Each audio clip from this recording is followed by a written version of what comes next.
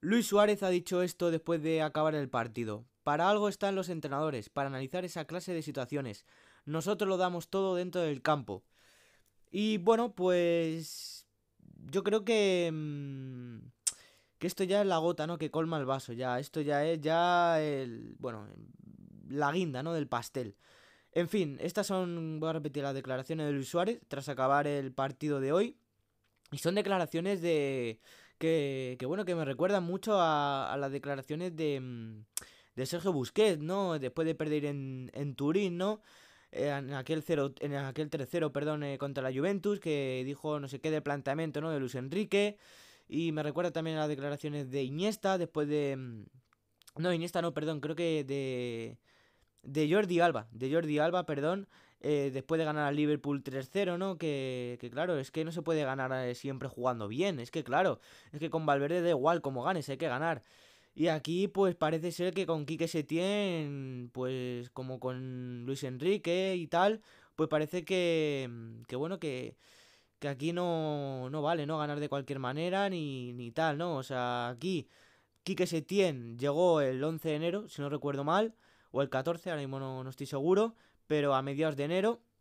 Y, a los 11 días ya estaban diciendo que el vestuario estaba escéptico, ¿no? Que, que no sé, que no sé, había, había, digamos que cosas raras, ¿no? Ya dentro del vestuario, y eso que Quique Setién no llevaba ni dos semanas.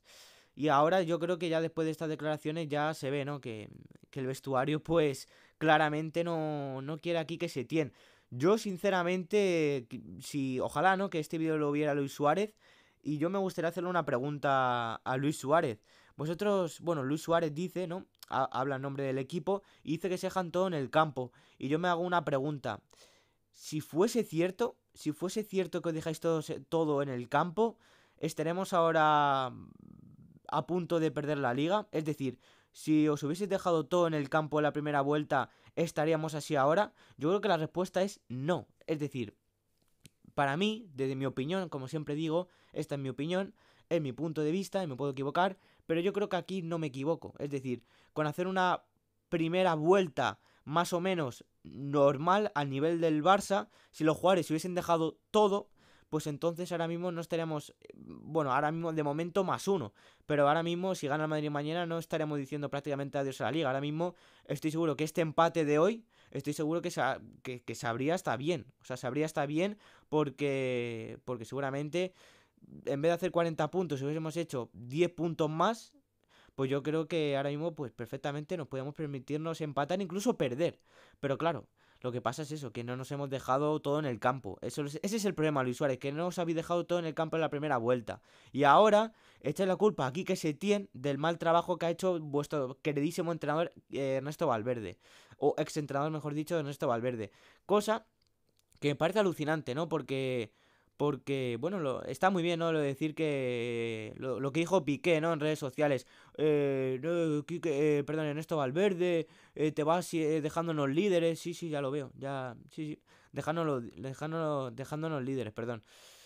En fin, o sea, esto es impresionante. Esto es impresionante. O sea, que salga Luis Suárez ahora a decir uno de los pesos pesados. O sea, que salga a decir aquí en público que.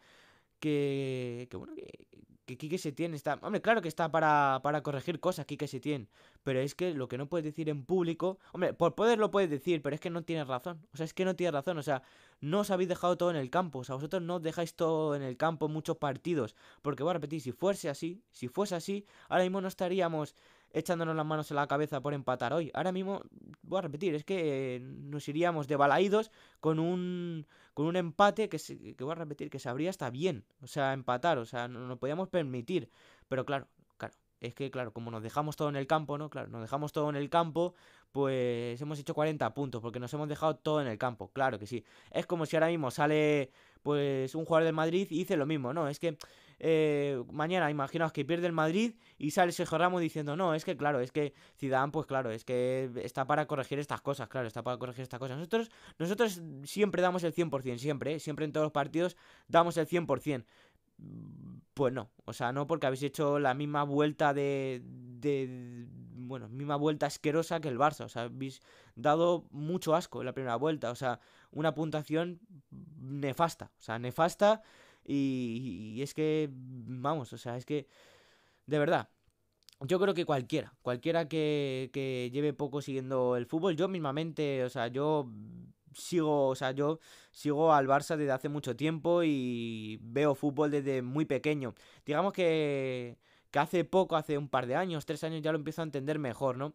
Digamos, ya empiezo a analizar más cosas y tal, pero lo que es viendo fútbol llevo mucho tiempo, pero lo que es viendo fútbol y analizar y tal y comentar partidos, pues llevo pues dos, tres años y es poco tiempo, para mí es poco tiempo, pero es que en este poco tiempo eh, se aprenden muchas cosas se aprenden muchas cosas y entre una de ellas está cuando, cuando los jugadores, los pesos pesados no quieren a un entrenador. Y con estas declaraciones de Luis Suárez ya públicas y todo, ya le da igual.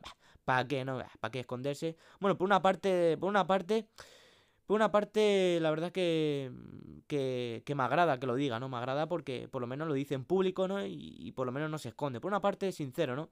Pero claro, o sea, a mí lo que me molesta ya para finalizar que con Ernesto, o sea, con Quique Setién, perdón, sí, con Quique Setién sí que le critiquen públicamente, pero luego que con Ernesto Valverde, guau, eh, te vas siendo, te vas dejando los líderes, te vas siendo que una leyenda, ¿no? Del club, guau, eh, Ernesto Valverde es el mejor, ¿eh? O sea, a ver, es que no, no, este doble rasero, o sea, no se puede consentir, o sea, o estás con con todos los entrenadores, es decir, yo puedo entender que unos entrenadores te, te caigan mejor y otros peor, eso está claro, hasta ahí bien pero porque Quique Setién te ponga más trabajo físico, no quiere decir que sea peor entrenador que, que Ernesto Valverde porque te dé 4 o 5 días de descanso, de, de, vacaciones prácticamente.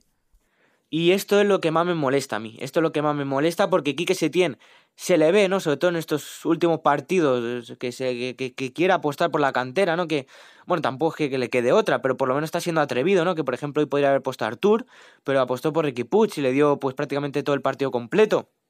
Y Ansu Fati pues prácticamente lo mismo, ¿no? Y, y se nota, ¿no? Que está siendo ahora mismo más, un poco más atrevido, ¿no? Por decirlo de alguna manera, un poco más valiente, está dejando a Griezmann pues más en el banquillo y tal, está apostando más por la meritocracia que lo que hacía lógicamente en estado verde que prácticamente nunca apostó por, por la meritocracia, siempre por, por los jugadores que, que, que, bueno, por los pesos pesados, ¿no?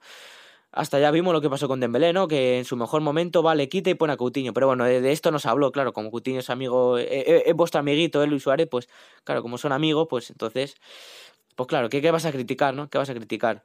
En fin, incluso cuando perdimos 4-0 en Anfield, ahí nada, eh, hay culpa nuestra, eh, culpa nuestra de los jugadores. Pero bueno, hoy empatamos 2-2 contra el Celta y ahí ya aquí que se tiene, que claro, que, que está para, para solucionar estas cosas, claro que sí.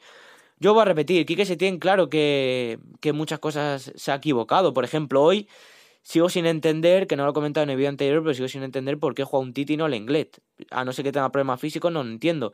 Pero, a ver, lo de que. Pero es que aún así, aún así es un entrenador que ha cogido un equipo que no es suyo. Es un, un equipo que lo ha cogido a mitad de temporada y que está haciendo lo que puede.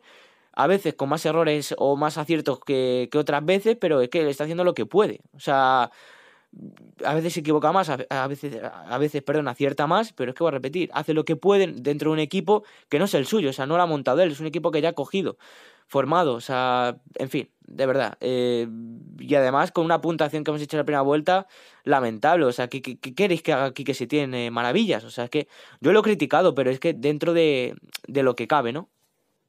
Porque yo ya, yo ya lo dije, yo ya lo dije hace nada cuando hablé de de estas declaraciones de Quique Setién, que yo lo critico, lo critiqué y seguramente lo seguiré criticando, pero también al mismo tiempo hay que entender que, que, ha cogido un equipo que no es el suyo. Y yo lógicamente critico las cosas que son criticables, porque algo que no es criticable no lo voy a criticar. Y para mí lo que ha dicho Luis Suárez de que nos dejamos todo en el campo es criticable. Es criticable porque no es la verdad. O sea, es que no hay más. Pero bueno, en fin, eh, poco más. O sea, quería hacer este vídeo porque es que ya me ha parecido el colmo. O sea, como he dicho al principio, la gota que colma el vaso. Y en fin, eh, nada más, dejad los comentarios vuestras opiniones y nos vemos hasta la próxima. Adiós.